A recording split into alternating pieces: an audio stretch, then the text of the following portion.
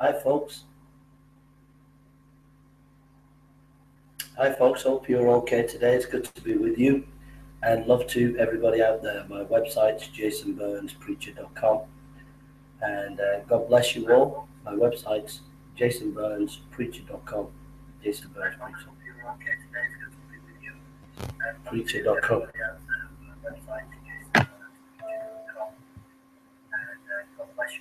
Sorry about this.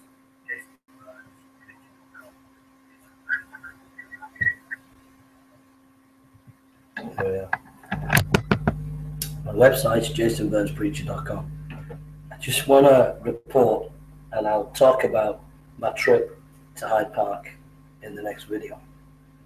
But I just want to report that it was a total utter car crash for the Muslim apologist in Hyde Park. There was one guy, one white guy, uh, he's a Muslim apologist called Paul, and I was debating him, having a discussion with him, and he asked me a question about Luke, and uh, I was stumped with that question because I just couldn't think. But as I got to talk to him, and we were talking about history, and I just completely tore his arguments apart um, because he didn't really understand fully about historiography of the ancient world.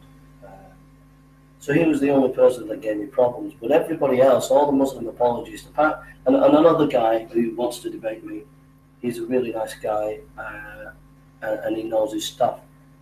But every other apologist that I met or bumped into, it was a car crash. It was a total car crash down there in Hyde Park.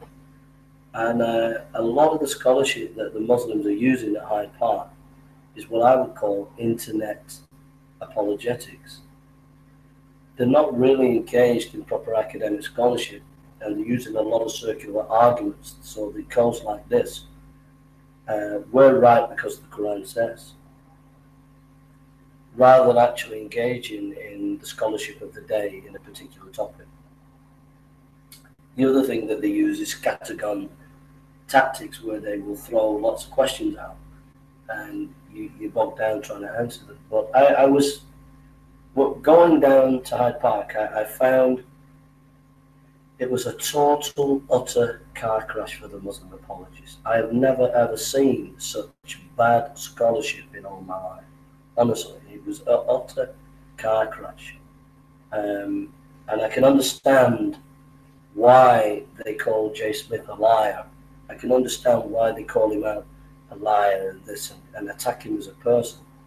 It's because the scholarship that they're actually bringing to bear is not up to up on, on, on par with uh, uh, with say Jay Smith or a scholar like that because they they fail to.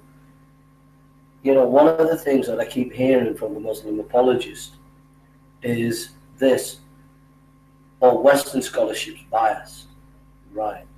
So, what kind of scholarship are you going to bring in? Well, I'm just going to use my Quran. Who's biased? You know, complete utter car crash apologetics for the Muslims down at Hyde Park.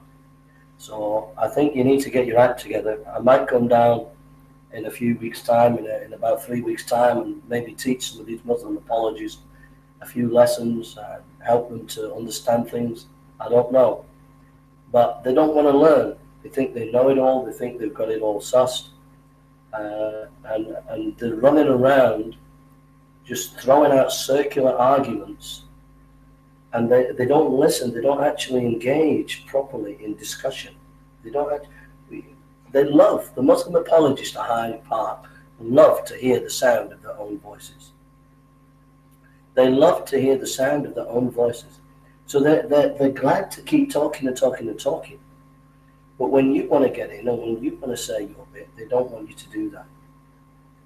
Then when you win them in the debate and in the argument, then they switch it to something else. And then they try to get everybody to forget what was said.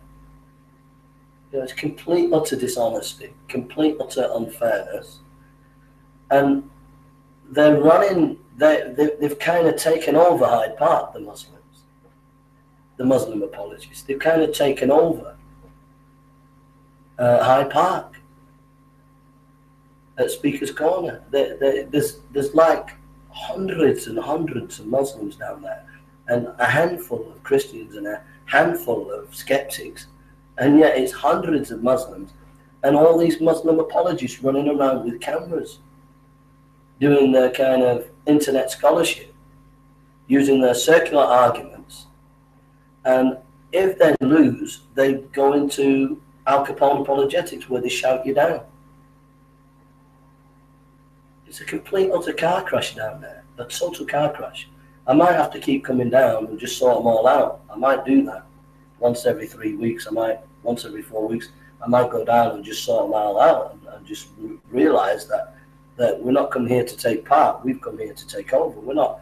We're not going to uh, be intimidated by a bunch of Al Capone apologists who are doing internet scholarship using circular arguments and who can't actually have academic debates. Sorry, we're not having it. You've got to move out. You need to get move out, go away, and come back with some proper scholarship. Yeah? That's my advice to you apologists out there. There's a guy who said he'd debate me. Maybe he can step up the mark and maybe he can show some proper scholarship.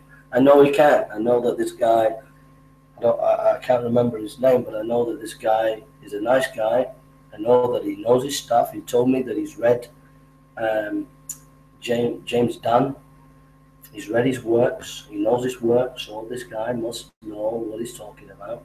So if he gets in contact, I can come down there and we can have a debate in Hyde Park, or if not in Hyde Park, in a mosque near Hyde Park, or if not in a mosque, we can have a debate somewhere.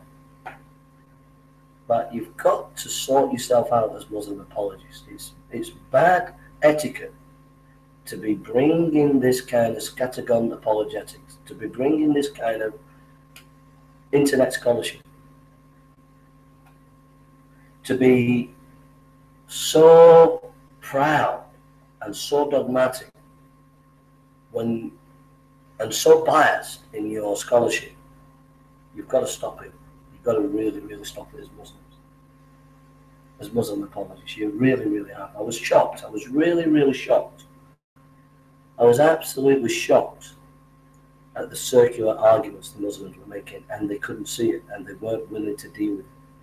And I'm going to make a few uh, more scholarly uh, videos in a minute about Muslim apologists that I talked to in in uh, Park. All right, take care. God bless.